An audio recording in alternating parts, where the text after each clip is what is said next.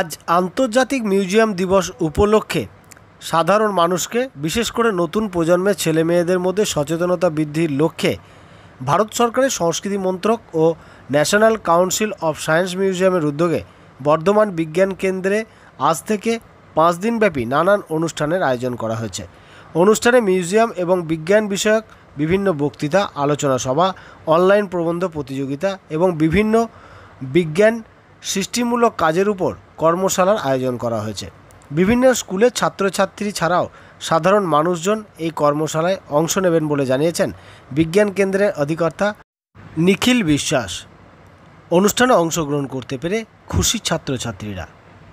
আমি Saint Xavier স্কুলে পড়ি, আমার নাম ঋষিক সাহা। তো আজকে আমরা বর্ধমান সায়েন্স মিউজিয়ামে এসেছি, যেখানে আমাদেরকে আজকে শেখানো হচ্ছে যে ফাইভ জি কী। তো ফর্টি ইয়ার্স ব্যাক আমাদের ভারতবর্ষে ওয়ান জি এসেছিল।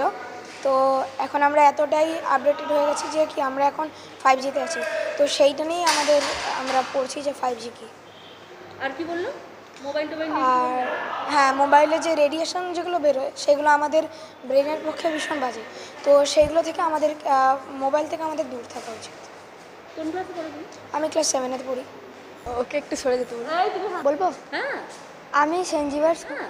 আমি সেনজিভার স্কুল থেকে এসেছি। আমার নাম শ্রীজিৎ রায়। আমি ক্লাস সেভেনে পড়ি। এইখানে আমি এসে খুব খুশি হয়েছি। আমাদের আজ- আজকে ইন্টারন্যাশনাল মিউজিয়াম ডে সেলিব্রেট করা হচ্ছে। আর এইখানে এসে আমাদের শেখানো হচ্ছে কি ফাইভ যে ইন্টারনেট কত উন্নত।